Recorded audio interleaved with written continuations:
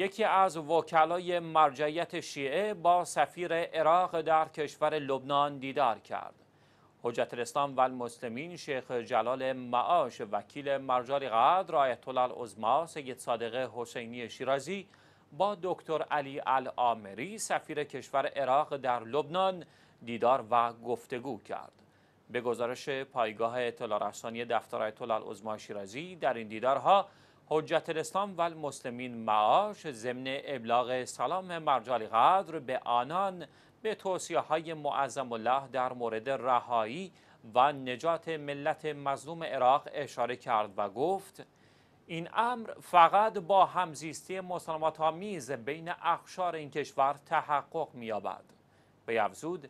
ملت عراق باید خود را از کشمکش های سیاست مداران و برخی طرف های دینی و اشایری دور بدارند و به اعتماد متقابل در گفتگوها و حل منازعات و رایزنی در مسائل اینچنین روی بیاورند تا از ضررهای مادی و معنوی در امان باشند.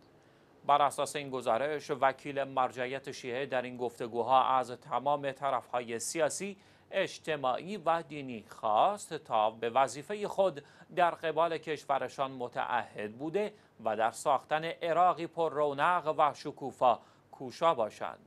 حجت الاسلام و المسلمین شیخ جلال معاش در پایان این دیدارها با اشاره به روایات اهل بیت علیهم السلام تاکید کرد